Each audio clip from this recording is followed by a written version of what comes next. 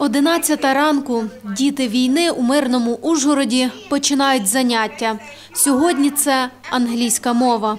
Наразі в нас в школі канікули, як всі знають, тому ми намагаємось допомагати нашим дітям, переселенцям як можемо, чим можемо. Тому проводимо уроки англійської, намагаємося дітей якось відволікти від цього всього, е, щоб їм стало більше, щоб вони почували себе, ніби вони навіть в школі, ніби життя не змінилося, наскільки це можливо.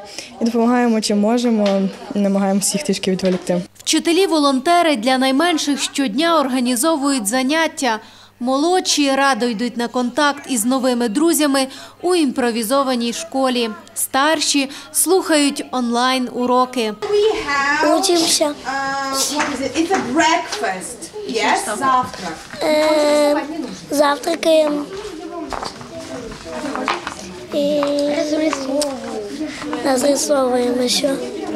Ми вчимося, ми граємося, ми займаємося. Е, У нас онлайн-школа є. Тут тихо та, без... та, та безпечно. На одному із заводів міста офісні приміщення стали прихистком для вимушених переселенців. Наразі тут проживає близько 200 людей, майже 70 з яких – діти. У нас дуже організовано тут все, тому що серед переселенців в нас є кухарі, в нас є люди, які займалися випічкою хліба. Е, Всі вони самоорганізувалися. Люди готують по черзі, прибирають. За кожним поверхом закріплена людина, яка відповідає за чистоту, за порядок. Ті люди, котрі в нас вже живуть, вони нікуди не хочуть уїжджати. Вони залишаються в нас, переочікують скорішого повернення додому. Наймолодшому тимчасовому переселенцю – 4 тижні, найстаршій – понад 70 років. І кожен, хто сюди приїхав, має свою історію. Чоловік та жінка з дітьми приїхали з-під Києва, працювали у столиці кухарями у ресторані, тепер також готують. Тільки для тих, з ким опинилися разом у тимчасовому прихистку. Там ситуация накаленная была, все время грохочет. Э, Конкретно Боярку еще не бомбят, но подступают со всех сторон, то- то есть спокойствия нету. Мы самоорганизовались немножко, и кто что может, тот э, тем и занимается. Вот мы с Аленкой повара, мы на кухне.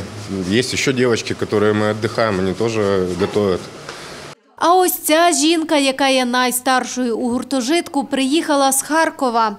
Їхали до Ужгорода автівкою майже вісім діб. 8 суток. Пробки по 7 часов стояли, по 7-8 часов в пробках стояли. Здесь приняли хорошо, все хорошо здесь, и покушать есть. На запитання, чи хотіла б повернутись додому чим швидше, пані Катерина ні секунди не роздумовуючи відповідає. Хочу. Я бы сейчас полетел. Усі, хто тут поселився з різних куточків країни, тікали від війни і вкотре дякують Ужгороду за теплий прийом у такі складні часи. Прийняли дуже добре, центр дуже добрий. Е, Тут у нас забезпечують всім і їдою, і постілю, і ну всім, і е, одягом. Все нам дають. Ми дуже вдячні нашим волонтерам. Приняли очень хорошо нас, очень мы благодарны волонтерам. Э, В принципе, всем необходимо, они нас обеспечили. Еды хватает. Ну, спасибо ребятам очень большое. І хоч в Ужгороді наразі більш-менш спокійно і дітлахи почуваються захищеними, малюнки на стінах не дають забути, чому саме ці діти опинились на Закарпатті і дякують тим, хто захищає українську землю.